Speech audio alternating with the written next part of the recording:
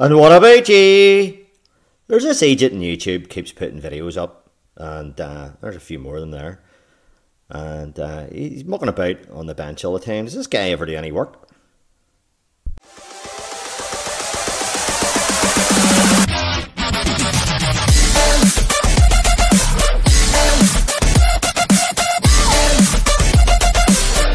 It's, a, it's an un, unintended part two this current flow video.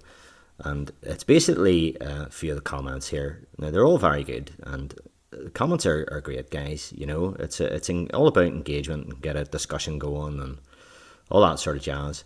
And I do reply most of the time. And uh, so there's Super Mario, great video, Dave. Love the compass, current meter in quotes.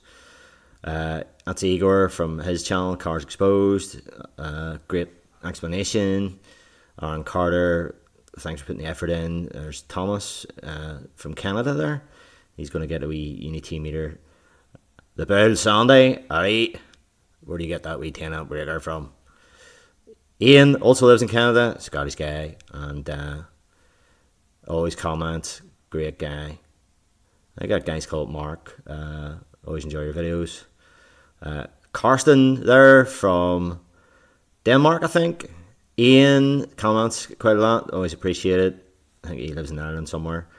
Johnny is an Irish guy who has buggered off to America and he says, Dave, you're on another level. Hope you can see this here. There's a bit of a glare there. It's not in front of it. Uh, don't know what that level is. Johnny, but uh, I don't know if it's a higher one or a lower one or what it is. Very well explained.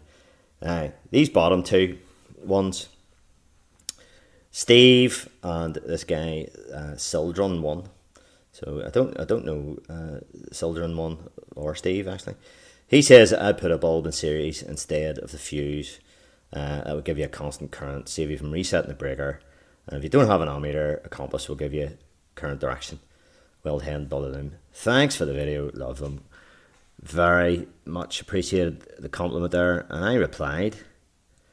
Uh, you can read these comments for yourself, guys, like in this video. Uh, you can do it if you want, but you, you need a large current to distinguish. Uh, also, the comment, com the compass doesn't say disable. I can nearly talk. So, uh, I have another video where I use the compass there. So, I'm gonna give that a wee try here in this one. Uh, uh, but this this guy here, Sildren, he was asking how, how does this actually work. So that, that's what we're going to do in this video. We're actually going to uh, make one of these things. So he said to me, uh, can you show what this current indicator looks like? Uh, looks like inside it and how does it work? And I said, no, I'm not taking it apart. I need it. I'm just showing you what it's used for. So this isn't the AVE channel. I don't buy things and, and take them apart and rack them. so uh, I don't. That's not what I do. I show you how these things. What you can use. We cheap tools and we, we things that to help you with your with your uh, fault finding and stuff. That's what this channel is all about. Don't take stuff apart. So I'm not going to do a tear down in this video. I'm going to do the opposite. I'm going to do a tear up uh, don't know whether that's the right term or not. Probably not. Probably isn't. So I'm going to actually make one and show you how it works. So he goes on to say he was searching the internet and I can't find the principles of how this should work. How can this measure DC current without any internal batteries? Question mark. Uh, there have to be some type of hall sensor and say maybe somebody knows the answer. And I replied uh, at the very last there, and I says, well, Google the right hand grip rule. So we're going to do a tear up video, which is the opposite of a tear down. So while I've got this screen up, just before we do anything, there's our wee over there. And uh, if we see, it's not at zero there, exactly. And I'll push, pull it forward towards the screen here, or back away from me. I can see it registering. It's nearly touching the screen. It's not quite touching.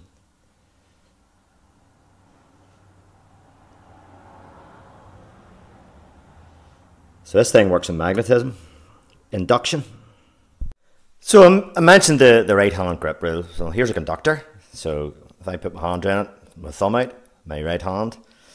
So that is the direction of current flow. That is the magnetic flux going around it in that sort of clockwise direction there. And that's current flow. If, it turn my, if the magnetic flux goes the other way, the current flows in the opposite direction that way. So that video was all about direction of current flow. And that's why the wee indicator is in the middle. So this this is to tell you the direction. Not necessarily the magnitude, but the direction. So that way or that way, depending on what way the magnetic flux is, is going around the conductor. So we've got a wee lamp there. We know it pulls about 4 amps, just over 4 amps. We've got a compass. Uh, if we put it on the red there, it does uh, move, uh, as we can see there. But does it tell you the direction of current flow? Put it on the negative. And if you're going around, what I was on about was orientation. Was if you're going around a, a loom, it's going all over the place. You know, you're sort of going to get lost with what way that that needle's pointing. So it does move. Yes, it does. That will work. But you know, is it a valid test?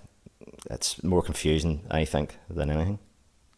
If we use our wee meter um, with just four amps flowing, yes, it does move, but uh, on this particular one with the scale, not that much unless you, you wrap that around it a load of times or something.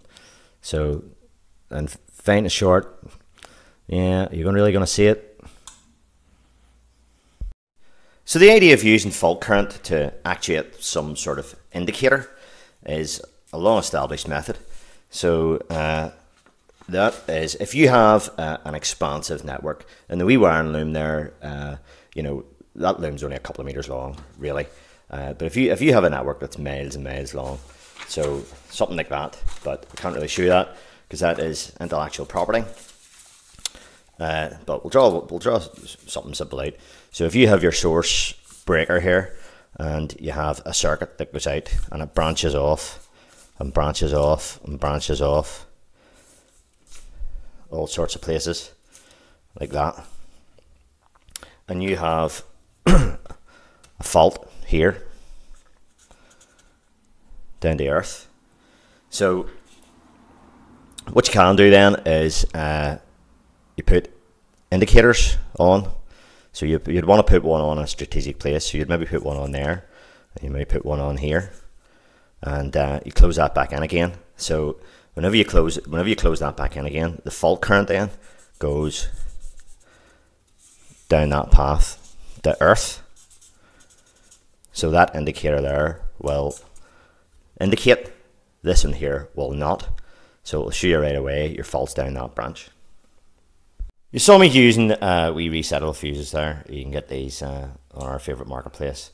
There's a mini and there's a maxi. So they're quite handy to have, uh, not that dear. This is a larger version of that. This can take, uh, the meter goes up to 600 amps on it there. I'll just show you that. So there's wee LED indicator on it here. This is what's called a fuse mate. So what this allows you to do is do a reclose on a circuit from a distance because it's remote control. So I can demonstrate, we'll have this tester here, so it tells you whether, it basically just opens and closes this, and there's a breaker in here, but there's also a protection fuse in the top. That black thing there is a blast cover in case it explodes. I'll just take that off. it drops to the ground. Uh, so in here is uh, what's called an HRC fuse, a high rupture capacity fuse, and you, you unscrew those two Allens and that comes out. So I'll just show you one of that. So in the top here is this fuse that goes in there. So that's a, an over overcurrent protection fuse. The way this works, there's a wee gas bottle in here and that throws the contacts. So that, that closes these two contacts here, which would be across the contacts there. So this is an HRC fuse, high rupture capacity. It's not just an ordinary fuse. And most fuses, if not all fuses, have some sort of what's called a fuse characteristic. You can see the HRC there. So it's a fuse characteristic. So this fuse, it's rated at 400 amps, but it'll take about twice that for about 20 minutes. So it won't rupture right away. So it's it's what's called uh, an exponential uh, curve on it, where if you have uh, thousands of amps, it'll it'll rupture in a very short space of time. So time against uh, current, show you in a graph. So if we have current and uh, time here. So a high current, short space of time for rupture. So the graph goes like that. So the higher the current, the, the shorter the time. So the smaller the current there, it can sustain that for a longer period of time. So that's that's it called the fuse characteristic. Just show you this in action, so here we have switch open. So we'll turn it on. and remote control two buttons so you can't accidentally uh, press the button. So you stand from a, a distance and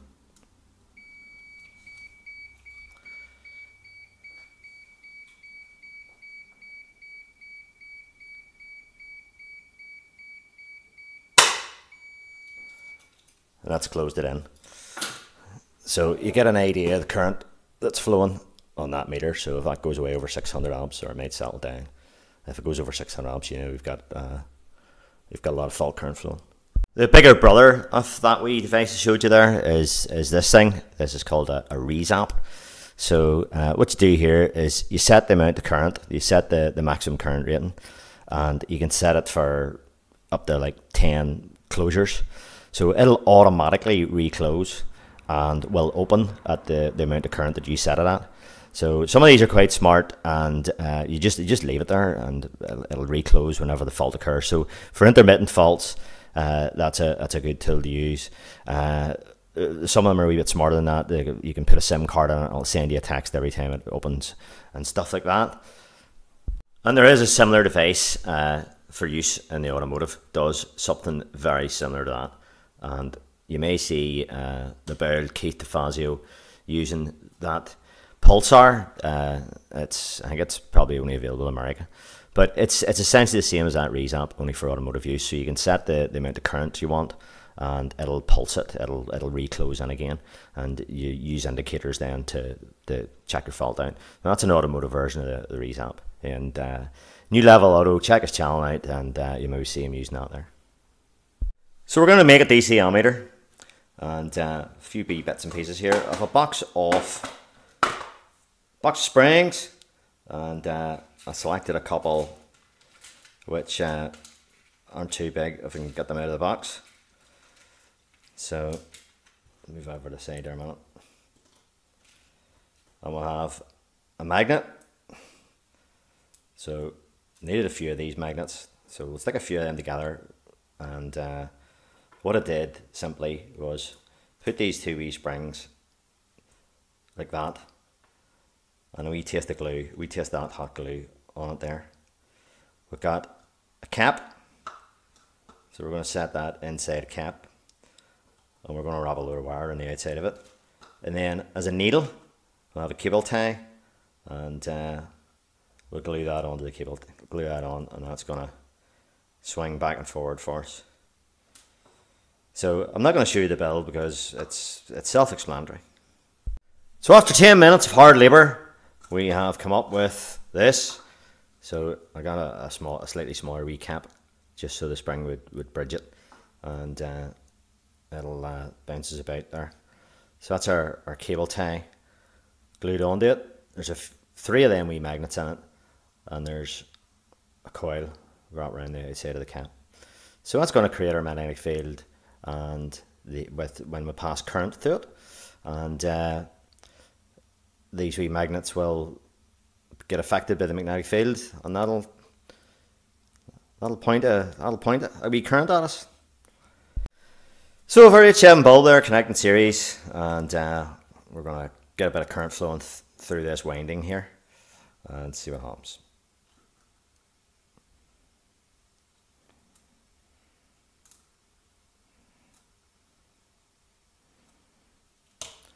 Hmm. Now to put a scale on it and calibrate it. So there we go, we've got a scale on. So uh, yeah, I think the last time I made something like this, it was like 40 years ago. I was in school. But uh, yeah, okay, so there's zero. And uh, we've got a digital multimeter there, as you can see. So 3.9 amps, say 4 amps. So that's about 4 amps there. Say 4 amps. Okay with that. So we'll swap our polarity here. And we'll get her to shoot the other way, hopefully. There we go. And we'll call that. Oops, me. Four amps. Right, we've got a PWM controller on the on the go here. That's wired in.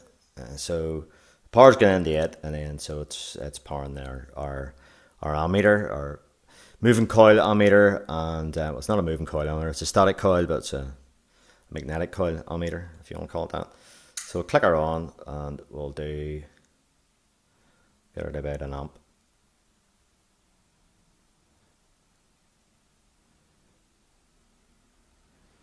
There one amp.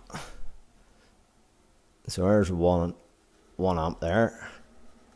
If my marker would work. So we'll get her up to two amps.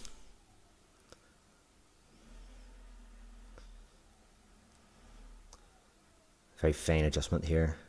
This precision work. This is uh, all in the name of science.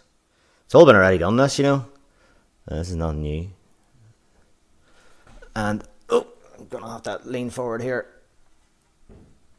and do a terrible looking two, and we'll go up to three.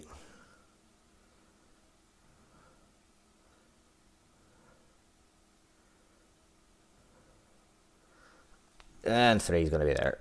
So it's sort of linear, isn't it? And we'll take her up to, let's just share the four, isn't it? 3.8. So We'll take that back. The zero. Not zeroing very well, but the wee, the wee spring's jumping about.